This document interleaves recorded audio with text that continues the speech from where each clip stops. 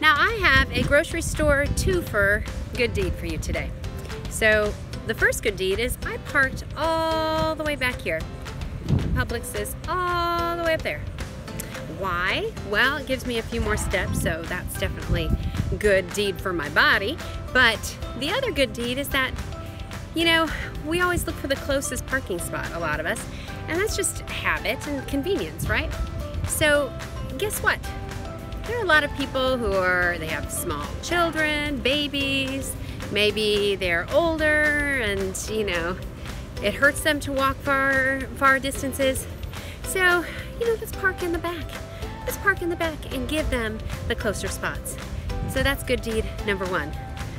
Good deed number two in this twofer is the fact that I am using my reusable bags because you know, I can't tell you how many times I've gotten in the grocery store and gotten up to the checkout stand and seen other people with their bags and all of a sudden I am feeling so guilty because I did not use my reusable bags.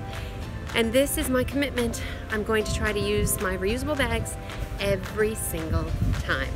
So there you have it. There's the grocery store twofer. This is number 40. There are nine more starting tomorrow. I can't even believe we are on the countdown. And I hope you have a great day.